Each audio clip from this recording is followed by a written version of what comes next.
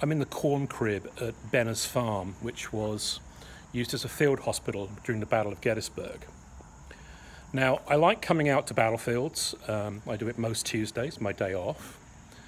Um, particularly where I'm based now in the East Coast, Mid Atlantic region of the United States. I'm able to get to a lot of Revolutionary War, War of 1812, and Civil War battlefields.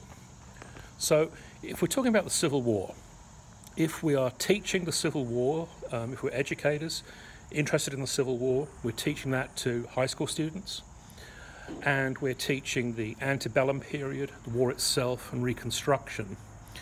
We have the opportunity, if we live, if we're blessed to live in certain regions of the United States, we have the opportunity to get out of the classroom, put our feet on the ground, and walk the ground and immerse ourselves ourselves sorry in the environment in which the history took place. I'm just going to place my coffee cup down on a handy window ledge here in the stone barn wall. So I realised that depending on where you live in the United States, you might not have the opportunity to get to a Civil War battlefield. Um, but if you can, and if you can get your students out on a field trip it means so much more when you're actually walking the ground and you can point to things and you can set them in their context, such as well, I'm at Benner's farm at the moment.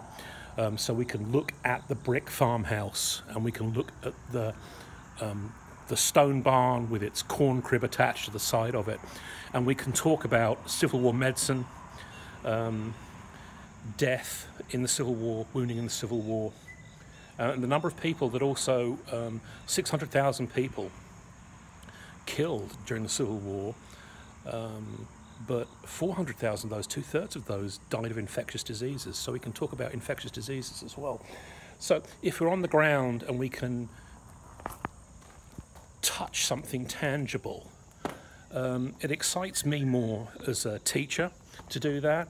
And perhaps it means more to a student as well if you can be on the ground so if you have the opportunity to get your students on a field trip, please do. If you cannot get your students on a field trip, if you have time yourself on your own time, and I know time is precious, but if you have time during the summer vacation period or winter break, if you have time to get out to a historical location yourself and shoot some video, take some photographs, um, run some TikToks, and bring that passion and bring that location to your students, then do it. Just do it.